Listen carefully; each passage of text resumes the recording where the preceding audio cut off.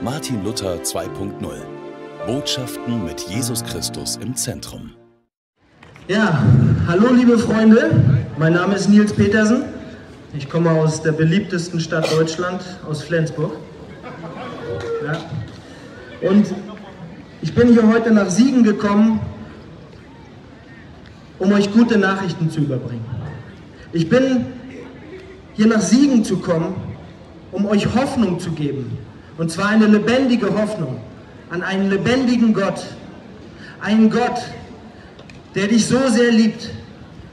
Ein Gott, der dich besser kennt, als du dich selber kennst. Und der einen Plan für dein Leben hat. Ein Gott, der alles in meinem Leben neu gemacht hat. Und davon möchte ich euch heute erzählen. Schon in jungen Jahren war mein Leben geprägt von Partys, Frauen, Alkohol und Drogen. Und um mir diesen teuren Lebenswandel zu finanzieren, fing ich dann selber früh an, den Stoff zu verticken. Erst ging das ganz klein los, dann wurde es immer größer, das Geschäft wuchs und ich rutschte komplett ab in den Drogenhandel. Erst Gras, dann Pillen, dann Kokain. Ich wurde eine richtig große Nummer in meiner Stadt und in der ganzen Region. Nach ein paar Jahren wurde dann auch die Kripo auf mich aufmerksam und observierte mich 24 Stunden, sieben Tage die Woche und das über mehrere Jahre. Zu derselben Zeit habe ich gerade meine erste kolumbianische Freundin kennengelernt und ich flog also nach Kolumbien, besuchte sie, wir verliebten uns und ich bin einfach da geblieben. Schnell machte ich dort Kontakte, die tief verwurzelt waren in kartellähnlichen Strukturen, in ja, teilweise paramilitärischen Organisationen ich war also plötzlich mittendrin in einer Welt, in der Geld und Drogen das Wort haben und in der ein Menschenleben keinen Wert hat. Nach fast zwei Jahren ging es dann mit meiner Freundin auseinander und ich zog in die wohl bekannteste Stadt Kolumbiens, nach Medellin. Ich glaube, Medellin ist jedem bekannt, von, durch den berühmtesten Drogenboss, den es jemals gab, Pablo Escobar.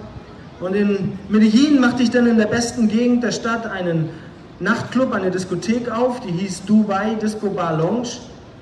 Und ich hatte eigentlich überhaupt gar keinen Plan von Gastwirtschaft, aber irgendwie wollte ich mein Drogengeld ja waschen. Und ihr könnt euch vielleicht vorstellen, wie es dort in meinem Leben aussah. Jede Nacht Party ohne Ende, viele Frauen, viel Drogen, viel Alkohol. Ich habe oftmals so viel Koks gezogen, dass ich mich gefühlt fast zum Mond gebeamt habe und mich fast tot gekokst habe.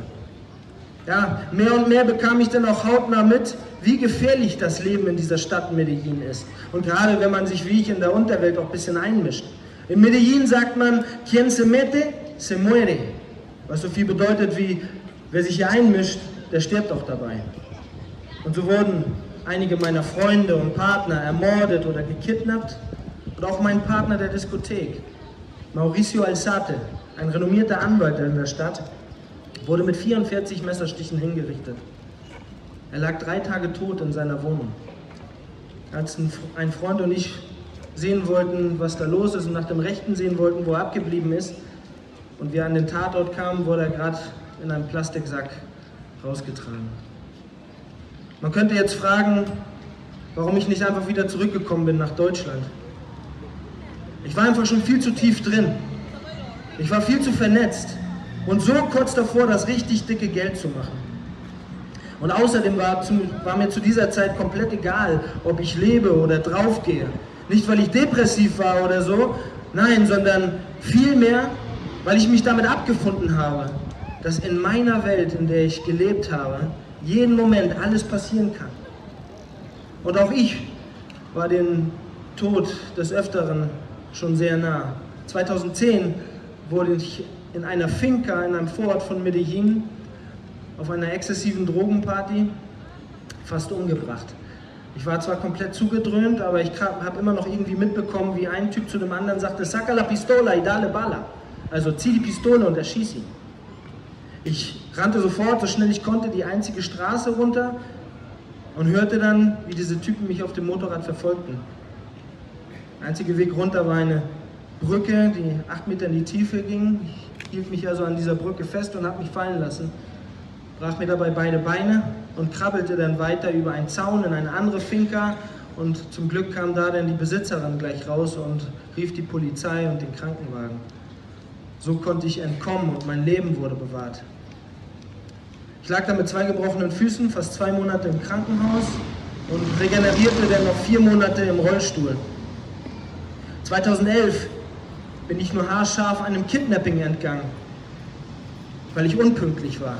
Mein Partner, der dort schon auf mich wartete, wurde von den Männern, die sich mit uns dort treffen sollten, gekidnappt und verschwand komplett für mehrere Wochen. Nach einer Zeit lief dann auch meine Diskothek nicht mehr und ich musste zusperren. Innerhalb kürzester Zeit habe ich alles verloren. Ich war komplett pleite und auch das andere Geschäft war komplett aussichtslos, weil meine Partner halt tot oder gekidnappt waren. Also entschloss ich selber auf eigene Faust ein Ding zu drehen, um wieder zu Geld zu kommen. Und genau bei diesem Mal wurde ich im Flughafen in Bogota mit einem halben Kilo Basel, einem Vorprodukt von Kokain, was ich in einem Backpacker-Rucksack im doppelten Boden versteckt hatte, erwischt und verhaftet. Ich kam sofort vor den Haftrichter, der las mir gleich acht bis zwölf Jahre und dann kam ich in den größten und gefährlichsten Knast Kolumbiens, La Modelo. 10.000 Häftlinge in einem Gelände ausgerichtet für Maximum 2.500. Ein Gefängnis, welches weltweit Geschichte geschrieben hat, als im Jahr 2000 dort ein blutiger Krieg ausgebrochen ist zwischen der Guerilla und dem Paramilitär. Zwar war dieser Krieg im Jahr 2011, als ich dort einsaß, schon längst vorbei, aber die AK-47 Einschusslöcher in den Wänden waren noch zu sehen. Und auch Waffen waren noch zu sehen. Mord und Totschlag waren noch zu sehen. Man hörte Männer nachts schreien. Und nicht, weil sie Heimweh hatten. Ich war also an einem Punkt in meinem Leben angekommen, an dem ich gemerkt hatte, dass ich nichts mehr in meinem Leben selber in der Hand hatte. Ein Gefühl von Angst und Hoffnungslosigkeit. Vorher konnte ich ja immer irgendwie alles selber regeln in meinem Leben, dachte ich zumindest. Und jetzt war ich komplett abhängig von anderen und wusste ja noch nicht mal, ob ich irgendwann wieder lebendig aus diesem Loch mal herauskomme. Die große Show war vorbei. Endstation, Knast Kolumbien. So fühlte sich das an. Die ersten zwei Wochen musste ich mich da drin erstmal wieder zurechtfinden. Sehen, wie alles abläuft. Wem kann ich vertrauen? Wie überlebe ich hier? Ich musste mir eine Zelle kaufen, damit ich überhaupt einen Schlafplatz hatte. Und habe mir dann ein Smartphone reinschmuggeln lassen, damit ich in Kontakt mit meinen Eltern bleiben kann. Ja, alles da drin war möglich. Alles hatte seinen Preis. Jeden Tag um 6 Uhr morgens wurden wir auf dem Gefängnishof gezählt, so nach dem Motto, wer die Nacht überlebt hat.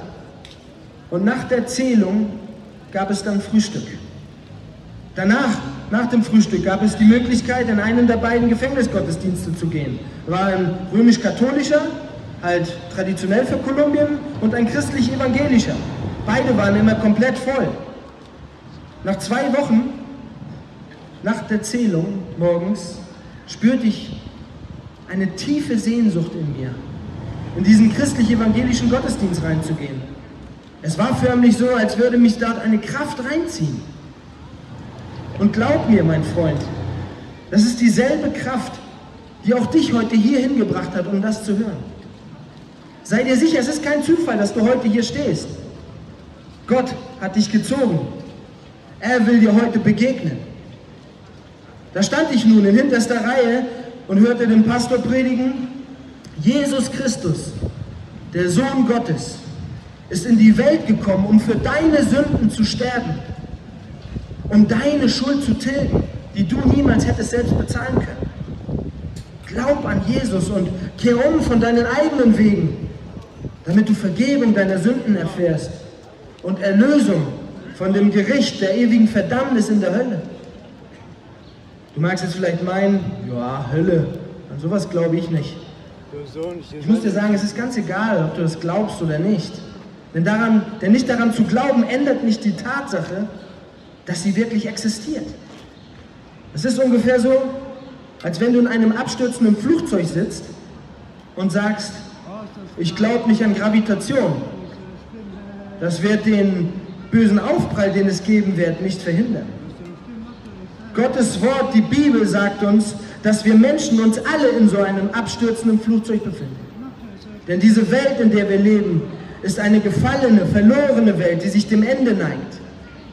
Wir brauchen nur einmal die Zeitung aufzuschlagen oder die Nachrichten anmachen, um zu sehen, in was für einer verlorenen Welt wir uns befinden. Dazu kommt, dass wir Menschen alle von Grund auf dasselbe große Problem haben. Wir befinden uns alle in einem Zustand getrennt von Gott durch die Sünde, die in uns ist. Ja, wir sind alle Sünder. Und wir alle haben gesündigt und verfehlen die Herrlichkeit, die wir vor Gott haben sollten. Wir alle haben uns durch unsere Sünden schuldig gemacht an Gottes Gesetz. Wir haben gegen ihn rebelliert. Keiner von ihnen, keiner von uns hat nach ihm gesucht. Keiner hat nach seinem Willen gefragt. Alle von uns haben immer nur das gemacht, was uns am besten in den Kram passt. Und Gott ist heilig. Und weil Gott heilig ist, kann er keine Gemeinschaft mit Sünde haben. Deswegen liegt die Sünde wie eine riesige Schlucht zwischen uns Menschen und Gott. Und es ist unmöglich für uns Menschen, diese Schlucht alleine zu überqueren. Sie ist zu groß. Und wir lesen in Gottes Wort in der Bibel im Römerbrief 6,23, der Lohn der Sünde ist der Tod. Es wird hier nicht nur der körperliche, sondern vielmehr der geistliche Tod gemeint. Geistlich getrennt von Gott durch die Sünde. Und wenn du in diesem Zustand, getrennt von Gott, die Erde hier verlässt, bedeutet das ewige Trennung von Gott. Und als ich den Pastor im Gefängnis dort in Kolumbien diese Worte predigten hörte, fiel ich auf die Knie, Tränen schossen mir in die Augen, denn ich hatte erkannt, dass ich mein Leben komplett versaut hatte. Ich hatte erkannt, dass ich komplett verloren war und dass der Einzige, der mir jetzt noch helfen kann, halt dieser Jesus ist, von dem der Pastor gerade sprach. Also tat ich wohl das Ehrlichste, was man tun kann. Ich sagte zu Jesus Christus, wenn es dich wirklich gibt, Jesus, dann gebe ich dir mein Leben. Bitte helfe mir und rette mich. In Gottes Wort steht geschrieben, jeder, der den Namen des Herrn Jesus anruft, wird gerettet werden. Aus tiefster Verzweiflung heraus rief ich den Namen des Herrn Jesus an und er hat mich gerettet. Und ich kann ihm nicht genug dafür danken, denn ich weiß, woraus er mich errettet hat und ich weiß, wovor er mich errettet hat. Denn ich war ein verlorener Sünder auf dem direkten Weg in die ewige Verdammnis. Ja, liebe Freunde, ich habe die Hölle verdient, aber habe ewiges Leben im Himmel geschenkt bekommen. Und in Jeremia 31,3 sagt Gott der Herr, mit ewiger Liebe habe ich dich geliebt. Darum habe ich dich zu mir gezogen, aus lauter Gnade. Aus Gnade und allein aus Gnade stehe ich heute hier. Allein aus Gnade bin ich heute das, was ich bin, ein Kind Gottes. Allein aus Gnade bin ich gerettet. In der wohl hoffnungslosesten und grausten Zeit meines Lebens im Gefängnis schenkte Gott mir lebendige Hoffnung und meinen Glauben an Jesus Christus, seinen Sohn. Liebe Freunde, anders wurde noch nie ein Mensch gerettet, als allein aus Gnade und durch Glauben an seinen Sohn Jesus Christus. Noch nie konnte sich ein Mensch selber retten, durch irgendwelche Werke, die er getan hat oder durch irgendwelche Gebote, die er versucht hat zu halten. Und es ist egal, welche Religion du mir auch aufzählst. Alle Religionen, und in allen Religionen muss man etwas tun oder nicht tun, um sich den Himmel zu verdienen. Religion sagt, mach und tu. Jesus Christus sagt, es ist vollbracht. Das waren seine letzten Worte kurz bevor er für uns am Kreuz starb. Liebe Freunde, es geht nicht mehr um uns. Es geht nur um Jesus. Nicht wir entscheiden durch unser Tun oder Nicht-Tun, ob wir errettet oder verdammt werden. Jesus Christus hat durch das, was er am Kreuz vollbracht hat, schon entschieden, dass jeder, der an ihn glaubt, gerettet wird und ewiges Leben hat. Ich bezeuge hier heute nicht von einer toten Religion oder ebenso einem Glaubenssystem. Ich bezeuge hier heute von einem lebendigen Gott, der eine lebendige Beziehung mit dir haben will. Ein Gott, der vor 2000 Jahren seinen Thron im Himmel verlassen hat, um ein Mensch zu werden, wie du und ich. Ich bezeuge hier heute von Jesus Christus aus Nazareth, dem Gottmensch. Im Gefängnis hatte ich ja jetzt genug Zeit. Also las ich jeden Tag in meiner ersten Bibel auf Spanisch. Nach fünf Monaten habe ich mich dann taufen lassen in einem Wassertank, wo normalerweise die Wäsche gewaschen wird. Das erste Mal in meinem Leben spürte ich einen tiefen Frieden. Einen Frieden, den ich vorher noch nie gespürt hatte. Das erste Mal spürte ich, dass ich erfüllt war in meinem Herzen.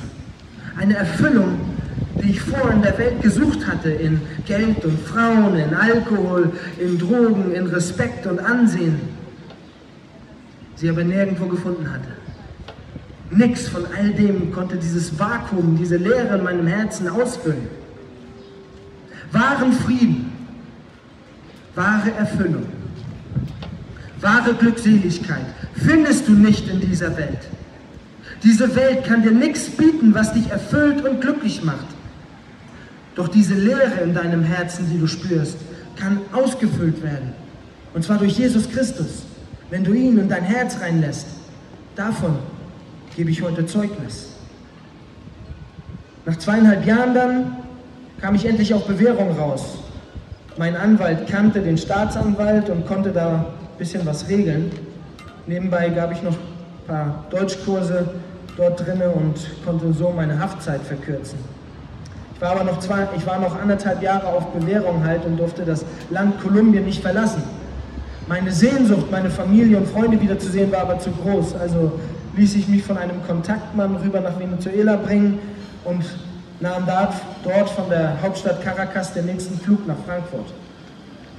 Ich bin jetzt circa seit sechs Jahren hier wieder in Deutschland und glaub mir, es war anfangs nicht leicht, mich hier wieder einzuleben. Außerdem war die Chancen auf einen guten Arbeitsplatz aussichtslos. Mein Lebenslauf weist einfach viel zu viele Lücken auf. Deswegen hat Gott es anders gemacht. Er hat mir eine eigene Firma geschenkt. Und so habe ich mich vor vier Jahren selbstständig gemacht mit meiner Firma Tropifruit. Kurz darauf hat Gott mir eine wundervolle Frau geschenkt, mit der ich jetzt seit drei Jahren glücklich verheiratet bin. Natürlich kommt sie aus Medellin. Und seit Anfang letzten Jahres sind wir zu dritt. Unsere kleine Tochter Dulce Maria ist jetzt anderthalb Jahre alt und erfreut uns jeden Tag. Wir haben einen so guten Gott. Es gab Zeiten, Stunden in meiner Gefängniszelle, einsame Stunden, in denen ich Gott unter Tränen gebeten habe, einmal eine eigene Familie zu haben. Die Einsamkeit hat mich oft daran zweifeln lassen. Aber dieser gnädige Gott hat alle meine Gebete erhört und hat alle meine Tränen weggewischt. Jesus Christus hat alles neu gemacht in meinem Leben und hat mir ein neues Herz geschenkt, ein weiches Herz und hat mich von einem schwerstkriminellen Drogendealer zu einem demütigen Verkündiger seines Wortes gemacht. Liebe Freunde, ganz ehrlich, hätte mir jemand vor acht Jahren erzählt, dass ich einmal vor Menschen das Wort Gottes predigen werde, hätte ich gesagt, hey, du hast zu viel Drogen genommen. Vollkommen absurd. Vorher, wo ich Kilos aus meinem Kofferraum vertickt habe, verschenke ich jetzt Bibeln aus meinem Kofferraum. Wo ich vorher eine ganze Region überflutet habe mit Drogen, gehe ich heute dort zu den Menschen und verkündige ihnen aus Liebe das Evangelium, diese gute Nachricht, welche die Kraft hat, dein Leben zu verändern und deine Seele zu retten. Und in der Bibel steht geschrieben, im 2. Korintherbrief, Vers 17 im Kapitel 5, Darum ist jemand in Christus, so ist er eine neue Schöpfung. Das Alte ist vergangen. Siehe, es ist alles neu geworden. Die Narben und Tätowierungen auf meinem Körper sind noch zu sehen. Sie sind aber nur noch ein lebendiger Beweis dafür, was Jesus Christus in meinem Leben getan hat und wie sehr er mich verändert hat. Er hat mich komplett erneuert, von innen nach außen. Versteht mich nicht falsch, ich bin noch längst nicht perfekt, ich bin weit weg davon. Aber Jesus ist es. Er ist perfekt. Und er ist es, der das gute Werk in mir angefangen hat und es auch vollenden wird, bis zu dem Tag, an dem ich ihn endlich sehen darf. Ja, vorher war ich tot in meinen Sünden. Doch Jesus Christus hat mich lebendig gemacht. In mir pulsiert jetzt Leben, liebe Freunde. Ewiges Leben. Ich weiß, dass Jesus Christus mein Retter ist und mir ewiges Leben geschenkt hat. Warum ich so überzeugt bin? Weil ich ein Zeuge bin. Weil ich es erleben durfte. Und ich es jeden Tag lebe. Wie ist es mit dir? Lebst du schon? Oder stirbst du noch? Weißt du, wo du die Augen aufmachen wirst, wenn du diese, wenn du deine Augen auf diese Erde zumachst? Prüf dich selbst. Deine Ewigkeit hängt davon ab. Liebe Freunde, niemand ist wie Jesus. Niemand. Da ist niemand sonst, der sein Leben gegeben hat am Kreuz, damit du leben kannst. Da ist niemand sonst, der sein Blut vergossen hat, damit du reingewaschen sein kannst von deinen Sünden. Niemand sonst hat die Strafe für deine Sünden getragen, damit du Frieden haben kannst mit Gott. Da ist niemand sonst, der am dritten Tag auferstanden ist von den Toten hin zum ewigen Leben. Niemand ist wie Jesus. Und es ist in keinem anderen das Heil. Denn es ist kein anderer Name unter dem Himmel den Menschen gegeben, in dem wir gerettet werden sollen.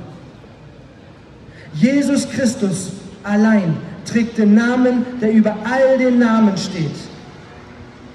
Vor ihm werden sich einmal alle Knie beugen und alle Zungen werden bezeugen, dass er der Herr ist, der lebendige Gott, der König der Könige und der Retter der Welt. Und heute begegnet er dir hier, ganz persönlich, als dein Retter. Lass das nicht einfach so an dir vorbeiziehen, als würde es nichts bedeuten. Denn es ist das absolut Bedeutendste in deinem Leben. Nichts ist so bedeutend wie das, was Jesus Christus für dich am Kreuz getan hat. Erfolg hat einmal ein Ende. Ansehen und Schönheit vergehen. Geld wird einmal keine Rolle mehr spielen in deinem Leben. Denn wenn du sterbenskrank bist, bedeutet dir das, was du auf deinem Konto hast, einen feuchten Dreck. Die einzige Frage, die für die Ewigkeit bedeutend ist, lautet, kennst du Jesus Christus? Kennst du deinen Retter? Kennst du Jesus? Du hast nur dieses eine Leben und das verfliegt so schnell. Es ist höchste Zeit, dass du über deine Ewigkeit nachdenkst. Weltweit sterben 150.000 Menschen täglich. Woher willst du wissen, ob du nicht der Nächste bist? Ich weiß es nicht, ob ich es bin. Und deswegen, jetzt wo du diese Worte hörst, ist heute, heute ist der Tag deiner Errettung, nicht morgen. Entscheide dich heute für ein Leben mit Jesus, der dir Frieden schenkt mit Gott und deiner Seele die Gewissheit, dass sie erlöst ist.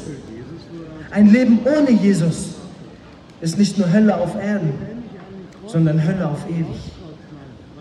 Liebe Freunde, die Hölle ist real. Der Himmel ist real. Jesus Christus ist real. Und er ist der Einzige, der dich vor der Hölle retten kann und dir ewiges Leben im Himmel schenken kann. Und er sagt, dass er gekommen ist, um zu suchen und zu retten, was verloren ist. Ich war verloren, aber ich habe ihn nicht gesucht. Aber er hat mich gesucht, bis er mich gefunden hat. Das ist seine Gnade. Ich selber habe nichts dazu beigetragen. Ich habe nur seine ausgestreckte Hand ergriffen, als ich in Not war und nicht mehr weiter wusste und habe mich von ihm aus dem Feuer ziehen lassen und retten lassen. Und heute ist er hier mit ausgestreckter Hand, um dich zu suchen und zu retten. Es ist egal, wie weit weg du von Gott gelebt hast und wie viele Sünden du auch begangen hast in deinem Leben. Gott wird dir Vergebung schenken, wenn du mit ehrlichem Herzen vor ihn trittst und ihn um Vergebung bittest. Du hast dich vielleicht tausend Schritte von ihm entfernt, aber zu ihm zurückzukehren, bist du nur einen einzigen Schritt entfernt. Wage heute diesen Schritt zu Jesus und kehre um von deinen eigenen Wegen. Starte einen Neuanfang mit Jesus Christus. Kehr um, mein Freund. Du befindest dich auf der falschen Spur, auf dem Highway to Hell. Mach einen U-Turn, 180 Grad und kehre um zu deinem Schöpfer. Glaub an das Evangelium, an die gute Nachricht, die du heute von mir gehört hast. Und vertrau, und vertrau allein auf Jesus Christus als dein Herrn und Retter. Gib ihm heute dein Leben und lass dich versöhnen mit Gott. Und dafür möchte ich dich jetzt ganz konkret einladen. Ich möchte dich zu Jesus einladen, damit du Errettung erfährst und Vergebung von deinen Sünden. Jetzt kannst du nach all dem, was du heute hier gehört hast, hier weggehen, so wie du gekommen bist, ohne dass dich das weiter berührt hat. Oder du kannst dich für ein Leben mit Jesus Christus entscheiden und hier weggehen mit der Gewissheit, dass er dich gerettet hat und deine Seele erlöst hat. Das ist ganz allein deine Verantwortung.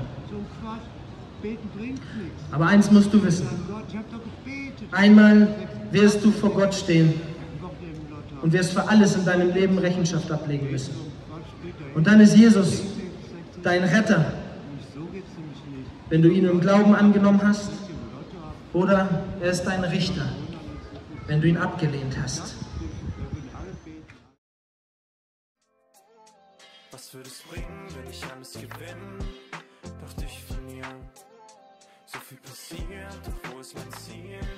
Ohne dich bei mir, ohne dich ist so grau. Ich weiß genau, ich werde nie gewinnen, wenn ich dich verliere.